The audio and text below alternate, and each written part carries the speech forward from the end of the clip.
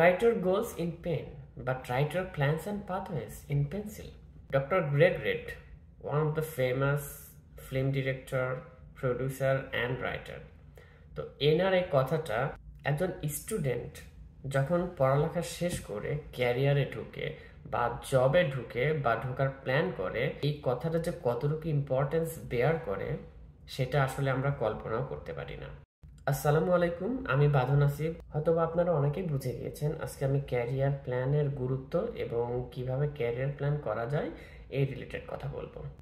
Under graduate পাশ করার পরে আমরা অনেকেই হয়তোবা অনেক সময় হতাশায় ভুগি যে আমরা কি করব অথবা হুট করে একটা ডিসিশন নিয়ে নিই অথবা আমরা অনেকের দ্বারা ইনফ্লুয়েসড হয়ে একটা ডিসিশন নিয়ে নিই গভর্নমেন্ট জবের জন্য প্রিপারেশন নেব অথবা দেশের বাইরে যাওয়ার জন্য প্রিপারেশন নেব।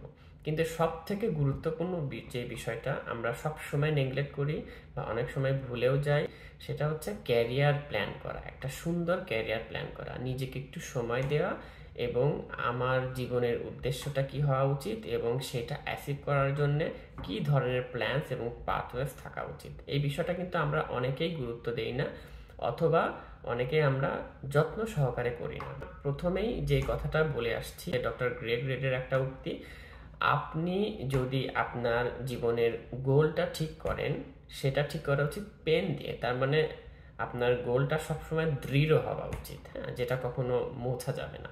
আর যদি আপনি সেই গোলে যাওয়ার জন্য আপনার প্ল্যানস এবং পাথওয়েজগুলো ঠিক করেন, সেটা হওয়া উচিত পেন্সিলস দিয়ে। তার মানে আপনার জীবনের চলার পথে অনেক কিছু, অনেক সার্কামস্টেন্স চেঞ্জ হতে পারে। এনভায়রনমেন্ট সেম থাকবে না। আপনার আশেপাশের মানুষগুলো পরিবর্তন হতে পারে নাও থাকতে পারে আপনার সাথে। তো তখন সে গোলে যাওয়ার জন্য প্ল্যানসগুলা অবশ্য কিন্তু সময়ের সাথে সাথে চেঞ্জ হবে। অ্যাপেলের সিইও টিম কুককে একটা কোনো একটা প্রোগ্রামে জিজ্ঞেস করা হয়েছিল আপনার জীবনের লক্ষ্য বা ক্যারিয়ার প্ল্যান সম্পর্কে কিছু বলেন। তো উনি যেটা বলেছিলেন, উনি যখন এম বিএতে অধ্যয়নরত ছিলেন, ওনার প্রফেসর ওনাকে পঁচিশ বছর একটা ক্যারিয়ার প্ল্যান করতে বলেন।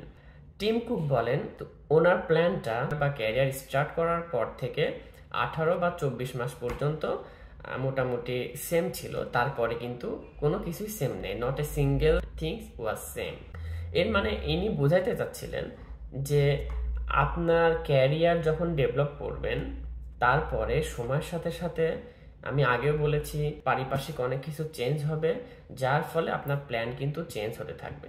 বাট শুরুতে যে আপনি একটা ক্যারিয়ার প্ল্যান করেছেন, এটা কিন্তু খুবই ইম্পর্টেন্ট এবং প্রথম দুই বছর বা তিন বছর আপনার ক্যারিয়ারটা কোন দিকে যাবে, আপনার প্ল্যানটা কি হওয়া উচিত এটা কিন্তু ঠিক করে দেওয়ার জন্য খুবই গুরুত্ব বহন করে। টিম কুক আর এক আরও দুটো ইম্পর্টেন্ট কথা বলেছে। You have to have a north star তার মানে তোমার একটা গোল বা উদ্দেশ্য থাকা লাগবে এবং you need to prepare yourself কিন্তু অধিকাংশ সময় আমরা যে কাজটা করি, আমরা একটা ক্যারিয়ার প্ল্যান না করে নিজেদের স্ট্রেংথ উইকনেস এবং নিজেদের ভালো লাগাটা গুরুত্ব না দিয়ে আমরা হুট করে একটা সিদ্ধান্ত নিয়ে নিই এবং সে অনুযায়ী নিজেকে প্রস্তুত করতে শুরু করি। হুম, কিন্তু একটা বিষয় যে নিজেকে প্রস্তুত করার আগেও আমরা নিজেকে কেন প্রস্তুত করব, কিসের জন্য প্রস্তুত করব, এই বিষয়টা জানা কিন্তু খুবই ইম্পর্টেন্ট ধরুন আপনি আন্ডার গ্রাজুয়েট কমপ্লিট করেছেন একটা বিষয়ের উপরে। এরপরে নিজেকে একটু সময় দেন, তিন থেকে ছয় মাস। একটু ভাবেন নিজের ভালো লাগা কোন বিষয়ে, এই বিষয়টাকে অনুধাবন করার চেষ্টা করেন, আপনার গোলটা ঠিক করেন এবং আপনার গোল অনুযায়ী আপনার অ্যাম্বিশনস এবং অবজেক্টিভস ঠিক করে ফেলুন। এইবার মোটামুটি একটা ড্রাফট করে ফেলেন, আপনার গোল এবং অবজেক্টিভগুলো পূরণ করার জন্য আপনার কি কি বিষয়গুলা প্রয়োজন। এরপরে আপনি আপনার গোলস এবং অবজেক্টিভসের উপরে ভিত্তি করে পাথওয়ে রেডি করুন। কোন কোন ভাবে সেই গোলগুলা অবজেক্টিভগুলা পূরণ করা যায়। আর অবশ্যই আপনি যখন আপনার প্ল্যানস এবং পাথওয়েজ ঠিক করবেন, আপনার স্ট্রেংথ এবং উইকনেসগুলাও বিবেচনা করতে হবে। আপনার স্ট্রেংথ এবং উইকনেসগুলোর উপরে ভিত্তি করে আপনি নিজেকে প্রস্তুত করবেন। আপনি যদি আপনার স্ট্রেংথ এবং উইকনেসগুলো আইডেন্টিফাই করতে না পারেন, তাহলে আপনার টিচার আপনার কলিগস আপনার ফ্রেন্ডসদের সাজেশন নেন।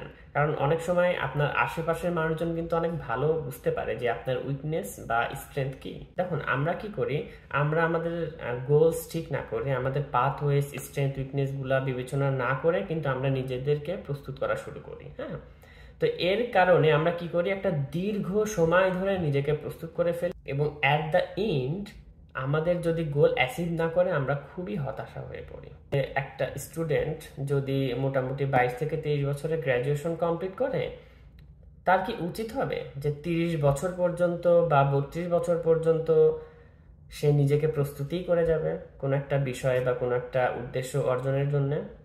এটা কি কতটুকু ভ্যালিড রিজন আপনাদের কাছে মনে হয়? আপনারা অবশ্যই কমেন্টসে জানাবেন। বাট আমার ব্যক্তিগত মতামত যেটা, যে আমরা সব থেকে ইম্পর্টেন্ট জিনিসটা মিস করি, যে আমরা একটা ক্যারিয়ার প্ল্যান করি না প্রথমে, এবং আমরা নিজেকে প্রস্তুত করতে অনেক সময় ব্যয় করি। দেখেন, যে আমাদের উদ্দেশ্যকে গেইন করতে হলে শুধু নিজেকে প্রস্তুত করাটাও কিন্তু সাফিসিয়েন্ট না। পাশাপাশি অনেক বিষয় আছে, যেটা কিন্তু আমাদের প্ল্যান্স এবং পাথওয়েসের অংশ হতে পারে। যেমন ধরুন আপনি আপনার ক্যারিয়ারের একটা গোল ঠিক করলেন, সেই গোলস অনুযায়ী আপনি পাথওয়েস এবং প্ল্যান্স ঠিক করলেন এবং নিজেকে কিছুদিন প্রস্তুত করলেন। পাশাপাশি একটা প্রোডাক্টিভ কাজে আপনি লেগে পড়লেন। যেই এই প্রোডাক্টিভ কাজটাকে আমি বলব ওয়ার্ক এক্সপিরিয়েন্স এবং ওয়ার্ক এক্সপিরিয়েন্সটা যে এত ইম্পর্টেন্স বেয়ার করে আপনার পরবর্তী গোলসটাকে মানে অ্যাচিভ করার জন্য, এটা আসলে আমরা কখনো কল্পনাই করি না। আমরা কি করি? যে নিজেদেরকে সাত সাত, আট বছর প্রস্তুত করেই যায় করেই যায় অ্যাট দ্য এন্ড যদি বাই চান্স আমাদের গোলটা অ্যাসিভ না হয়, তাহলে কিন্তু আমরা এমন হতাশার চাদরে ঢুকে যাই, আমরা সেটা আসলে নিউজ দেখে বুঝতে পারি। সুইসাইডের প্রবণতা বেড়ে গেছে ইভেন সব থেকে হাস্যকর বিষয় গভর্নমেন্ট জব না পেয়ে সার্টিফিকেট পোড়ানো বা ছেঁড়ার প্রবণতা বেড়ে গেছে, এগুলো কিন্তু হতাশা থেকেই আসে।